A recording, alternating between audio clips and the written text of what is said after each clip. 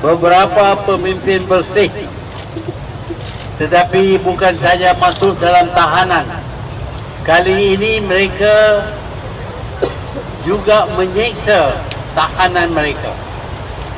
Saya diberitahu bahawa Maria Chi telah dimasukkan dalam solid, solid, solitary confinement.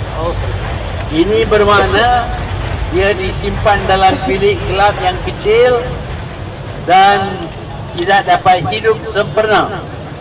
Ini adalah satu jenis torture, seksaan yang mana ini adalah bertentangan dengan undang-undang. Saya berasa sedih apabila diberitahu bahawa Maria Chin telah dimasuk dalam sol solitary confinement. Ya memang. Mereka boleh tahan. Mereka boleh buat segala-galanya. Bercanggah dengan undang-undang negara.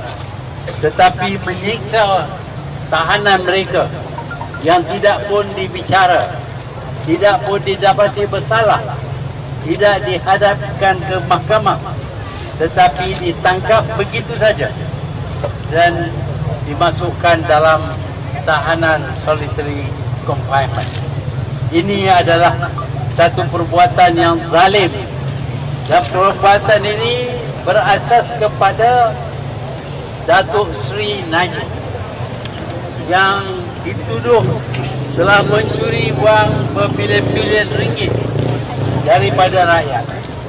Orang ini tidak seharusnya menjadi Perdana Menteri Malaysia. Dia patut dijatuhkan dengan segera